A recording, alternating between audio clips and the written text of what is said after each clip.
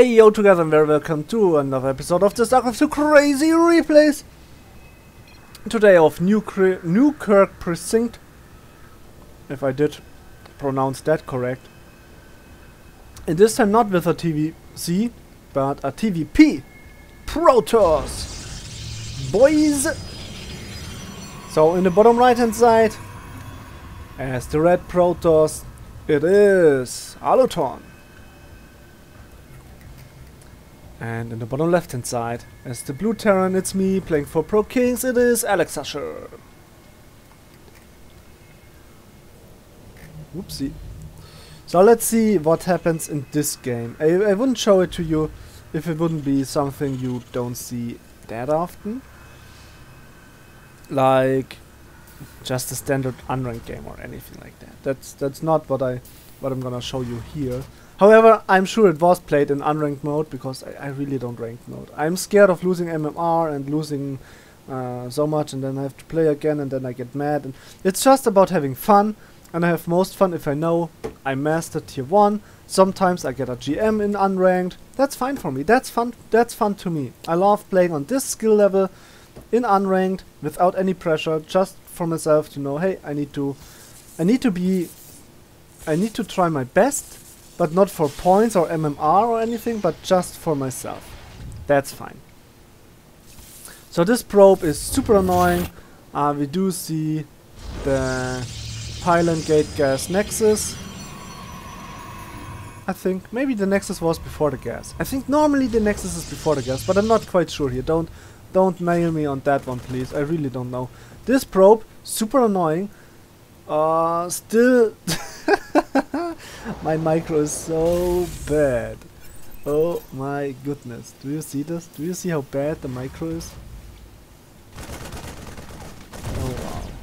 Oh wow. Finally the probe dies. Okay. So core finishes. The nexus is soon done as well. Uh, there we a command center on the high ground I seem to be super scared. Not sure what kind of build I'm playing here actually. Uh, no, no Reaper? Okay, and, and then Starport? More Marines? Uh, a Hellion now? No, a Widowmine? It looks like, as you can see, I have no clue what I'm doing. I'm completely freestyling. no wonder my games sometimes are super scrappy if I don't know what to do. Interestingly, Aluton going for a Stargate. So Oracle Harass and Oracle. I don't know why no Protoss is playing Oracle. Mm, like not no Protoss is playing Oracle. That's a lie. But why not all Protoss are opening like this? Um, sure, if there are turrets or widow mines and you lose the Oracle, that's super bad. On the other hand, the Oracle has the Revelation. It has the Stasis Ward trap, and of course the Pulsar Beam. But the, the trap is so good. Almost no player still is anticipating the the the trap. And the trap can th this is such an ability it, it can win you the game.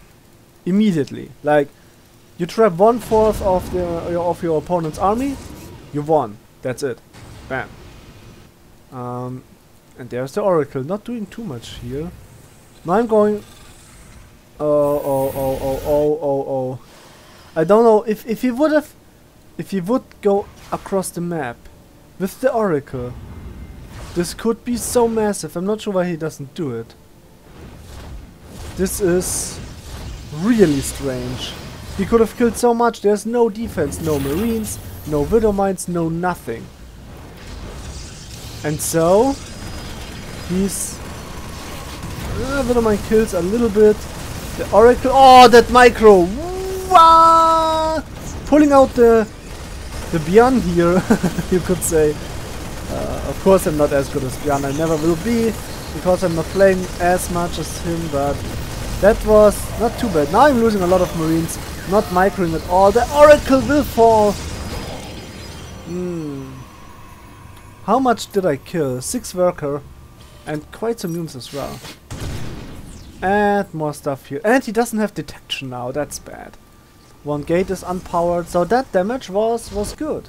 Was good damage. And we do see mech. That's right, guys. Mech is on on the way. Uh, there's a Banshee without cloak. I think I saw an Oracle somewhere. I'm not sure. Ah, the Widowmine still active here. Beep beep. So I'm not sure what the Banshee will be able to do here. Uh, could maybe get some more kills. Oh yeah, those probes not doing too much here. Oh, this Banshee killing so much, even without cloak. He doesn't anticipate it. This is so much pressure on him. I think the Banshee needs to to get out there. ASAP. Oh, baited, another overcharge. Some of that's moving across the map, but I do have cyclones now on on dancing dancing patrol command. Look at that. Now if you would have disco music, that would be awesome. That's so stupid.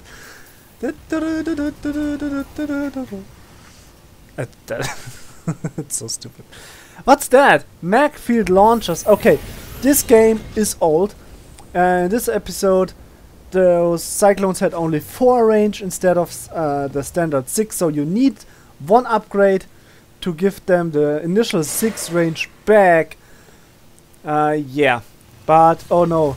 He doesn't see those cyclones. So he goes in, surprise, Hellions, and lots of cyclones.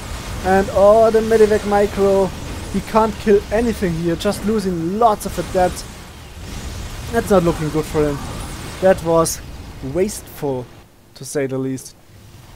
And yeah, uh, Adept Shade got a nerf to the vision, which is still not what I want to see, because he still can be on on on two places at the same time. So all this shade Vision Nerf does is increase the, the, the, the, coin flip potential. Like, now the Protoss doesn't know if it's good or not to do it. So he, he had the, the, the initial, the initial, uh, how, how it's called? Uh, words, man, words. Oh god, I, I don't know. They were coin flipping before, and now they are even more. That's that's what I want to say.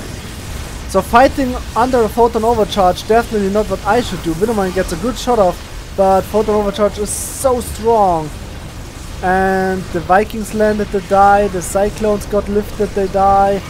That fight was so bad. You should never fight under photon overcharge. Like this pylon killed 6 units! That's massive. That was super wasted. And now here's uh, the air dominance with the Phoenix. You need to be careful. Very careful. Oh, he goes in for the tanks. Widowmine, not enough to kill one Phoenix. He gets one tank here. Might get another one. Or maybe not. Counter repair is strong. But it costs a lot of resources. Yeah, the tank. The tank survives. There's another tank here. And the Widowmines. Ah, good splits. Very good splits. But the sentry will fall here. The Immortal as well not super strong. And I don't know if it's worth to lose the Immortal for the Widowmine. Oh, wow! Yeah, now the Phoenix died. This tank still survives. And now Aluton did take a very bad engagement, I would say. Not very bad, but it wasn't the best. Okay. It is 3 base against 3 base. 4 factories, 1 starport so far, which is not too bad. And I'm not sure what what Aluton can do here. Uh, he's still going for Phoenix. Uh, maybe he should go for the the, uh, the, the fleet beacon. That could be one thing he he would like to have in this game. I would say. There are the phoenixes.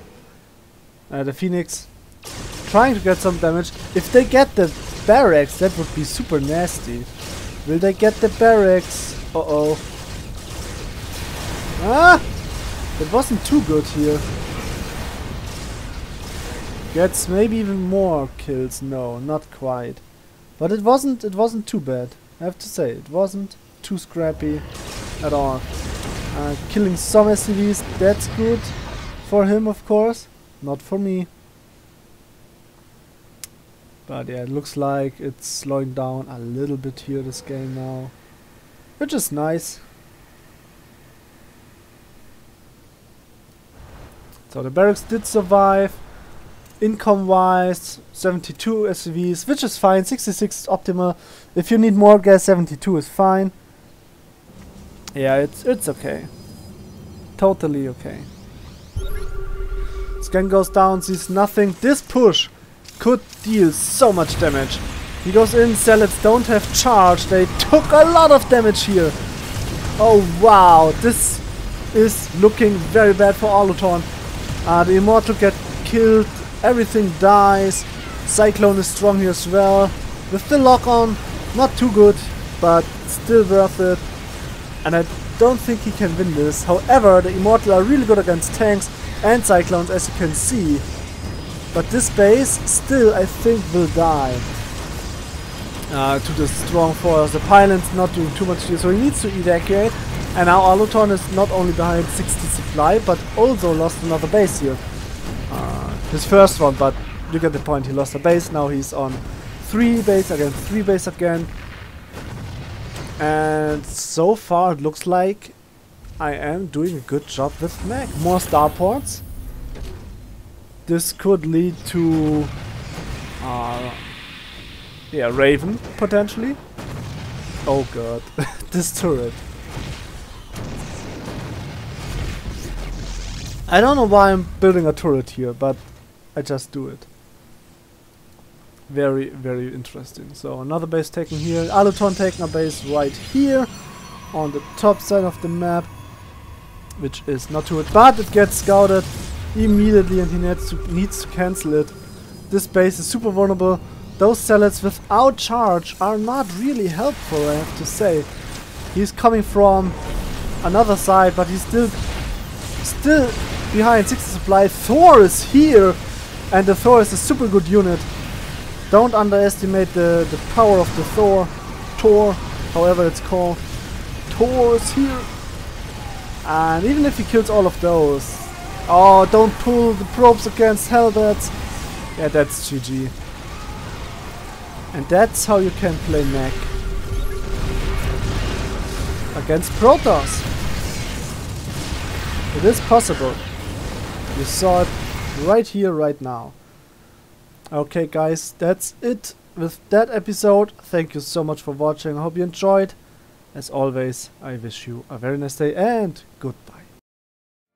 Heyo there, thank you for watching. If you'd like to support me, simply hit the thumbs up button.